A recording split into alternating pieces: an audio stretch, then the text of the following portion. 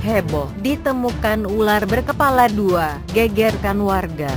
Ahli biologi di Suaka Marga Satwa, Florida dikejutkan dengan menetasnya ular berkepala dua dari sekelompok telur yang berada dalam inkubasi.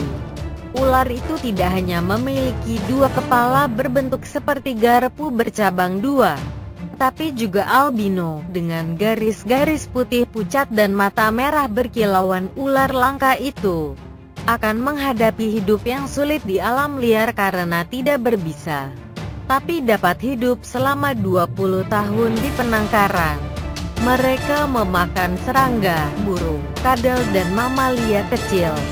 Kabarnya ular ini berasal dari Honduras terlihat sangat unik karena berbeda dengan ular lainnya yang berkepala satu.